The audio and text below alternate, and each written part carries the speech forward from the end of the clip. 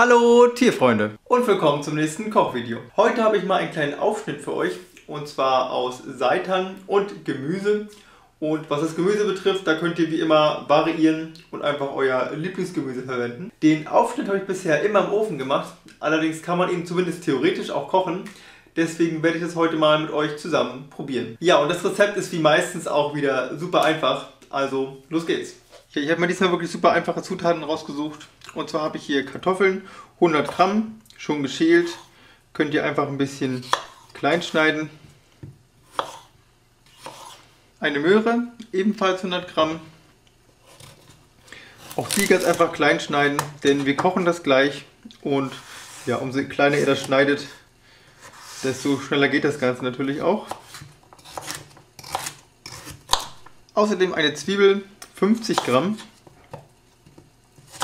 Könnt ihr ebenfalls einfach grob klein schneiden.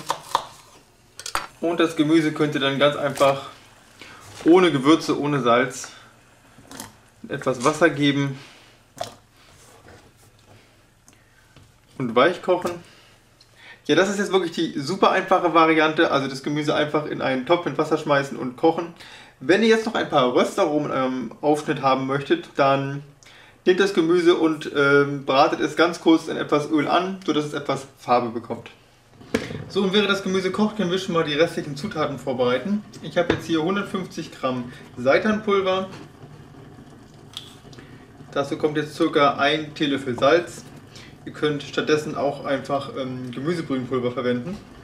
Ein Teelöffel Majoran und ein Teelöffel Paprikapulver. Das könnt ihr schon mal miteinander vermischen. So, euer Gemüse sollte jetzt ungefähr nach 5 bis 10 Minuten weich sein. Dann könnt ihr das jetzt durch ein Sieb geben. Und die Brühe müsst ihr auf keinen Fall wegschmeißen. Daraus könnt ihr immer noch Suppe kochen oder ja, die Brühe auch einfach so trinken.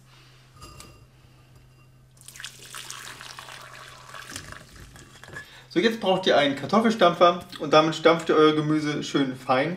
Ihr könnt das Ganze natürlich auch einfach pürieren, aber ähm, wenn ihr das stampft, dann bleiben halt immer noch so kleine Stückchen übrig, die man dann später in dem Aufschnitt auch sehen kann. Und das finde ich immer ehrlich gesagt, ja, ein bisschen hübscher. So, wenn ihr euer Gemüse fertig gestampft habt, dann lasst es auf jeden Fall noch ein bisschen abkühlen. Es sollte auf jeden Fall nicht super heiß in euer Seitan gegeben werden. So, wenn ihr euren Aufschnitt jetzt im Ofen machen wollt, dann könnt ihr den Ofen jetzt auf jeden Fall schon mal vorheizen auf 170 Grad. Dann kommt euer Gemüse zu eurem Seitan dazu. Außerdem 30 Milliliter Öl. Da könnt ihr ein Öl nehmen, was ihr am liebsten mögt. Und 50 Milliliter Soja-Reisdrink habe ich jetzt hier. Ihr könnt aber auch Sojamilch nehmen oder Reismilch oder auch jede andere Pflanzenmilch. Im Grunde wird es aber auch mit Wasser funktionieren. So, und das Ganze könnt ihr jetzt zu einem schönen Teig verkneten. So, ich habe meinen Teig jetzt mal halbiert, um einen Teil zu backen und einen Teil ähm, zu kochen. Um sozusagen beides zu zeigen und auch, wie gesagt, beim Kochen das erstmal auszuprobieren. Wenn ihr jetzt den gesamten Teig im Ofen backt, dann dauert das ungefähr eine Stunde bei 170 Grad wenn ihr aus dem ganzen Teig so einen schönen, äh, eine schöne Teigrolle formt. Die Zeit könnt ihr natürlich auch beeinflussen. Zum Beispiel könnt ihr die Rolle ganz einfach länger und dünner machen. Das ähm, verringert die Zeit natürlich auf jeden Fall. Und jetzt bei meinem kleineren Teig wird das sowieso noch etwas schneller gehen. So, der Eierteig kommt jetzt wie gesagt auf ein Backblech und wird jetzt bei 170 Grad gebacken. Und den anderen werde ich etwas dicker lassen, aber auch ein kleines bisschen länglich formen. Und den werden wir jetzt sozusagen in leicht siedendem Wasser gar kochen. So, wenn euer Wasser leicht kocht, dann könnt ihr euren Seitan-Kloß reingeben und die Hitze etwas reduzieren, damit es nicht zu doll kocht. Vielleicht circa auf die Hälfte. Und ich denke bei der Größe jetzt circa 30 bis 40 Minuten köcheln lassen und ja, vergesst euer Wasser nicht ähm, etwas zu salzen. Auf die Menge jetzt vielleicht einen halben Teelöffel. Dann am besten abdecken und ziehen lassen. Ich reduziere die Hitze jetzt circa auf Stufe 4, das heißt ja knapp unter der Hälfte. So, das waren jetzt bei beiden ungefähr 40 Minuten. Ich denke mal, die sollten jetzt gut sein. Ich nehme erstmal das aus dem Wasser raus und es ist ziemlich weich geworden, wie es aussieht. Es wird sowieso noch abkühlen müssen und dann sollte es eigentlich wieder fester werden. Und das aus dem Ofen sieht auf jeden Fall klasse aus. Hat auch, wie ihr seht, ein bisschen Farbe bekommen. Ja, muss auf jeden Fall auch erstmal abkühlen. So, beide Aufschnittversionen haben jetzt eine ganze Weile im Kühlschrank gelegen und sind schon mal gut abgekühlt. Ja, ich schneide jetzt mal beide an. Die gebacken wurde, hat natürlich auf jeden Fall eine festere Kruste. Aber auf jeden Fall ist es so, dass sie nach einem Tag ungefähr ähm, ja, weicher wird. Dann lässt sie sich auch etwas einfacher schneiden. An einem scharfen Messer kriegt es auf jeden Fall auch schon so hin. Und die gekochte Version ist auf jeden Fall sehr weich geworden. Also wie ihr seht, richtig, ja, richtig ähm, schwammig sozusagen. Ähm, ich habe dies auch eine Weile in ein Tuch eingewickelt, damit die Flüssigkeit so ein bisschen austreten kann. Ja, mal anschneiden. Fällt auch ein bisschen auseinander. Was natürlich der Vorteil ist, sie ist auf jeden Fall sehr sehr weich und ähm, ja, dadurch natürlich auch schön zart, was bei dem gebackenen Seitan halt nicht wirklich so ist, der ist schon ein bisschen fester. Aber im Grunde funktioniert beides. Ähm, bei diesem könntet ihr auch versuchen, das Ganze in äh, ein Tuch einzuwickeln und dann zu kochen, damit der ganze Seitan nicht so auseinanderquillt.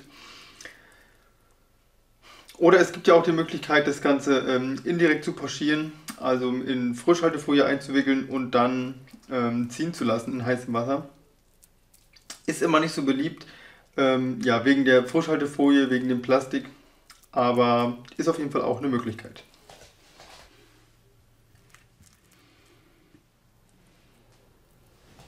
Ja, und schon habt ihr euren eigenen Seitenaufschnitt gemacht. Ist, wie ihr gesehen habt, ein ziemlich leichtes Rezept allerdings mit äh, ziemlich langen Wartezeiten zwischendurch. Deswegen kann das schon mal etwas länger dauern. Auf jeden Fall ist es, finde ich, eine bessere Alternative als diese ganzen gekauften Seitanaufschnitte. Denn da ist schon immer irgendwie noch ja, anderes Zeug drin. Auch unter anderem, um das ganz einfach haltbar zu machen. Und ja, hier wisst ihr ganz einfach selber, was drin ist. Und ihr könnt da, wie gesagt, auch viel variieren. Zum Beispiel könnte ich mir in dem äh, Aufschnitt auch Pilze super vorstellen. Okay, mal kosten das Ganze. Zuerst mal den gebackenen Seitenaufschnitt.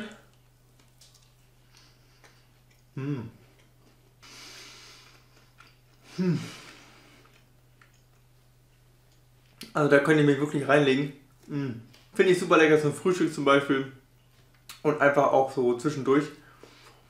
Und der ist auch super geeignet, finde ich, wenn ihr ihn einfach in kleine Würfel schneidet und zum Beispiel zu Bratkartoffeln dazu gebt. Oder auch als Suppeneinlage ist es auf jeden Fall ähm, vielseitig einsetzbar. Mm. So, und jetzt der gekochte Aufschnitt. Der sollte ja eigentlich genauso schmecken, denn immerhin ist es eigentlich genau das gleiche Rezept.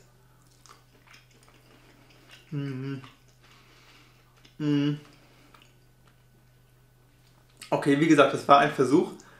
Ähm, denn wie scheint sind die ganzen Gewürze, das Salz und der ganze Geschmack ähm, in das Kochwasser gegangen. Also wenn ihr das gerne kochen möchtet, funktioniert es auf jeden Fall auch. Denn die Konsistenz mh, mm, gefällt mir wirklich gut. Ist wirklich super zart. Mh, mm, gar nicht so schlecht. Nur ihr müsst halt entweder den Seitanaufschnitt oder auch das Kochwasser einfach ein bisschen mehr salzen bzw. würzen. Damit der ähm, Aufschnitt ganz einfach im Wasser nicht so sehr auslaugt. Oder halt wie gesagt das Ganze mit einem Leintuch kochen oder halt auch in Frischhaltefolie wenn euch das nicht stört. Ansonsten ist es echt lecker. Ja, das war es auch schon wieder. Ich hoffe, dieses kleine Rezept hat euch gefallen. Und in der Endcard findet ihr auch nochmal einen veganen Käseaufschnitt, den ich vor etlichen Zeiten mal gemacht habe. Ja, könnte auf jeden Fall auch was für euch sein. Ansonsten viel Spaß beim Nachmachen und bis zum nächsten veganen Kochenende. Tschüss!